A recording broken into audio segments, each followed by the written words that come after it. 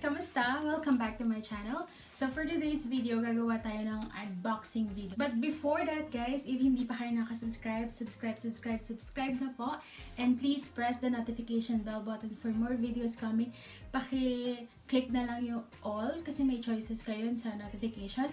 Paki-click na lang yung all para lahat ng notification, new videos, and kung ano-ano pa, may kita nyo agad yung video ko. So, let's start guys. So, ito ang aking unbox. So, yeah, buksan na natin to.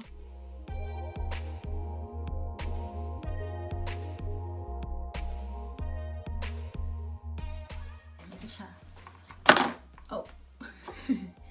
my God. Tapos yan. Um, ano yan? Ano ba yan? Baka ano ko naman.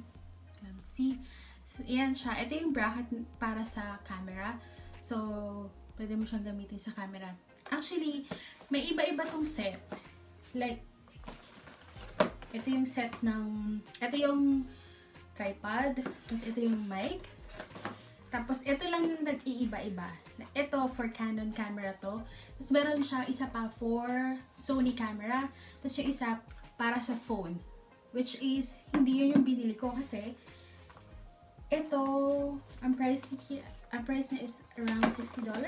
Tama ba ako? Check ko lang sa Amazon ko. Hmm. $67.95 yung price ng itong package na to. Pag bumili ka kasi na ang, ang kasama niya is hindi ito. Ang kasama niya yung phone. Around $90 siya. Parang sabi ko, what?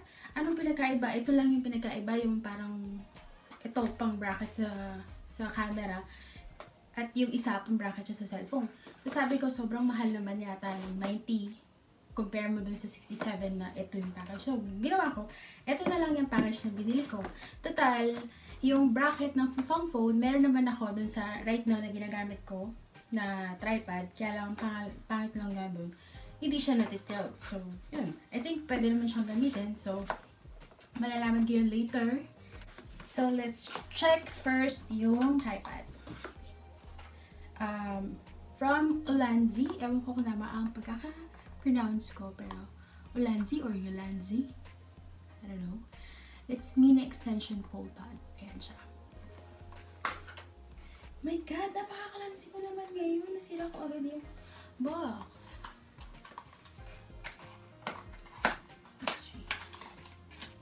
Grabe guys, ang init-init ngayon dito sa Canada. Ewan ko ba, bakit? Bigla-bigla-bigla na lang. Oh my gosh. Kulay black and red. Bigla-bigla na lang uminit yung panahon. Sobrang init ngayon. Ewan ko, siguro ganun talaga kasi alam ko sa Pinas mainit din right now. So, ito siya. Yeah. Ayan siya. Ewan ko kung nag-focus naman yung cellphone ko. I don't think so.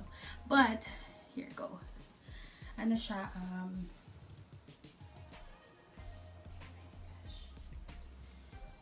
Hello. Paano ba to? Baka masira ko pa siya ha. How to use you po. Nakikita ko lang yan. Ayan, ito. Ito yung hinahanap ko. Like, natitilt siya, oh. Na, ano siya, na gaganon siya. Yan, oh. Which is, hindi nagagawa ng stand ko right now. Naka-steady lang siya yun yung wala sa stand ko. Kaya bumili ako ng ganito. Pero, ang problema, paano ko ba siya open? Ayun! oh my God! Kakainin ka. Ayan! So, ayan siya. O, oh, stand ba siyang ganito sa desk mo. Pero alam ko na ano din. Oh, yun. Na, oh, hanggang dito lang. Oh, pero pwede na rin, di ba? Oh, yan, ganyan. So, mag-start, may stand siya na ganito.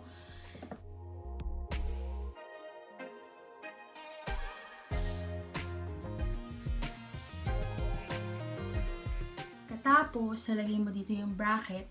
Tapos, lalagay mo it's either your phone or yung, ito, like, sige, open natin to. Tingnan natin kung ano meron dito.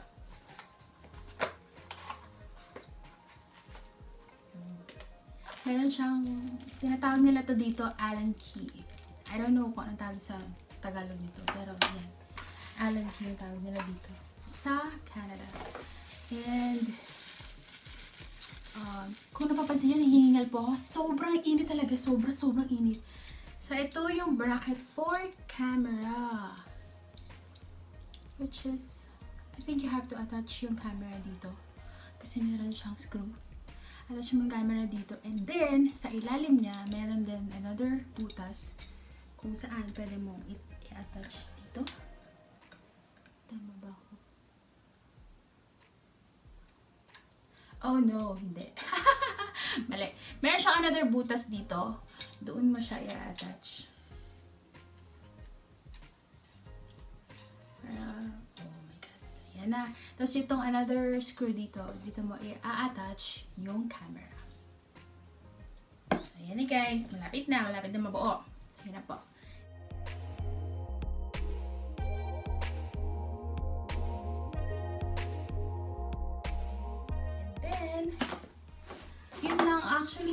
Laman ng ano, boxes. Walang kahit anong instruction or whatever. Yun lang yung mga laman nila. Like ito. Wala lang. Vlog L bracket lang nakalagay. For GX7 Mark 3. Yan. And then, next is itong By the way, yung bracket na to from UU Rig siya. Ito from Ulanzi. Ito from UU Rig.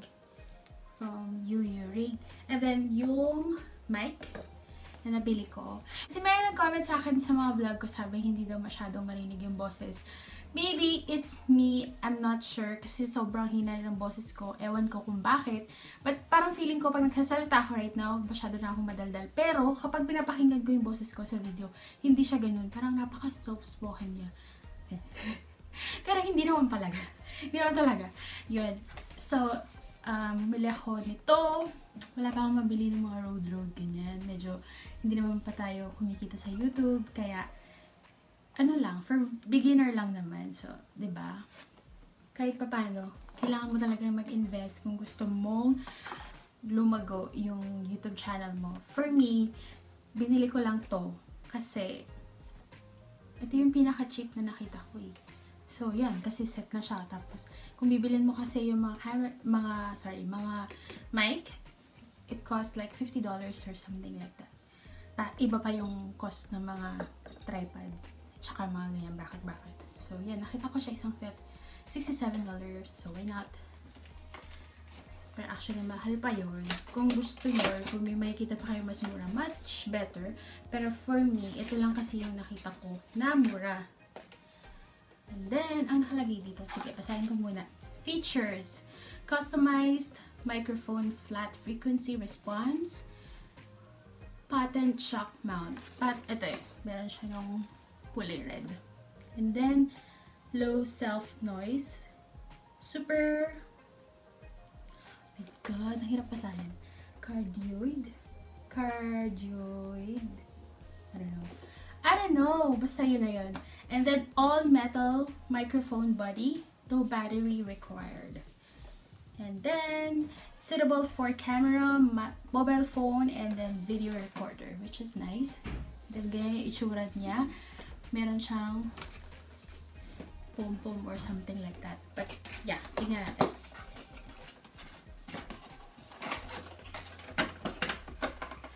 From Siren. So, Siren ba? Siren? Siren? I think tama yung pagkakasabi ko. Kung tama nga, basta yun, yun na yun. Okay. Okay. So, ito na yung laman. Wala lang laman yung box. So, ang laman niya is instruction manual and then something like, I think ano to? Oh, guarantee something. And then, kasama siyang pom-pom, which is what's in the box there. May pom-pom. Oh! Ayun na ba yun? Ano na ba yun? I think ito na yun. Ito na yun. Wait. Dahan-dahan kasi napaka-clumsy ko. Baka humagis siya. Oh. This one. This is the mic. Naririnig ko yung sasalita si mama sa baba.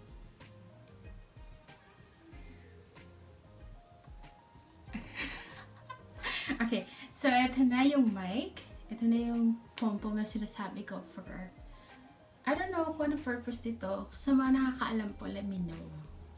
Kasi, I don't know. Hindi ko talaga alam. Research ko muna kung anong purpose nito. And then, next is, oh, meron siyang ano, pouch or bag na kasama. Which is nice. Pwede mo siyang ilagay dito pag hindi mo siya ginagamit. And, wait. Medyo magulo na yung desk ko, diba? Sobrang dami nakalagay. Wait, ibaba ko muna. Baka malaglag ko. Lilitan mo na ito sa aking kama yung mga boxes.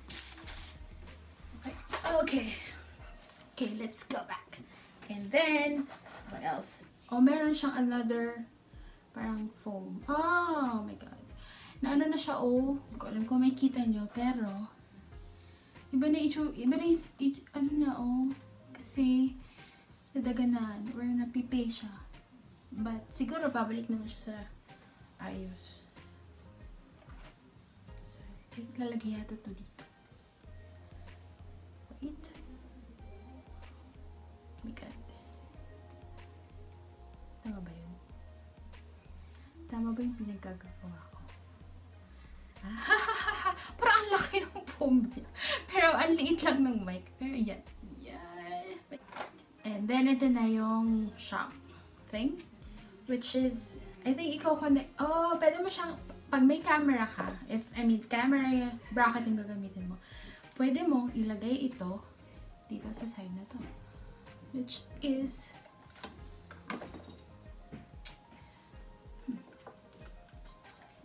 yan.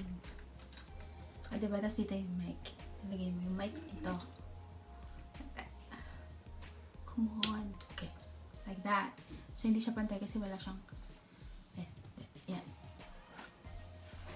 Lagyan natin dito para makita niyo kung ano itsura niya. Yan.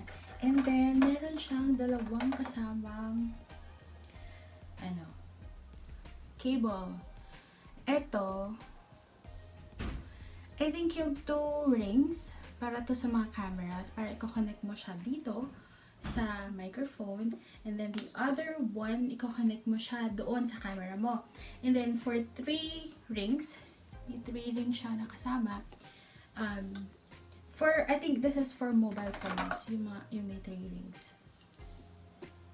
So, yan. Kukonect mo siya sa mobile phone. Ang problema is, kailangan mo pa ng adapter. Kasi, yun nga, yung mga iPhone kasi ngayon, wala na lang 3mm jack. Kukonect mo siya doon. I think mali ako sa magkakakabit. Wait lang. Dapat yung mic, yung 3 ganito, yung tatlong ring, doon siya nakakabit sa cellphone. And then, yung dalawang ring, yung nakakabit siya dito sa mic. Tapos, kailangan mo ng adapter, lalagay mo to, tapos yon Pakita ko lang yung user manual yan lang. Tapos, yung mga item lang na nakalagay sa box.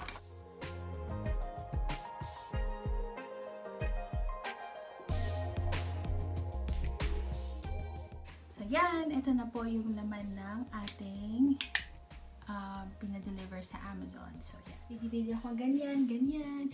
So, meron na akong desk tripod with microphone. So, yan po. So, that's it guys. Thank you for watching. Please don't forget to subscribe to my channel. Please press the notification bell button for more videos coming. Okay? Yun lang. Thank you and see you again. Bye!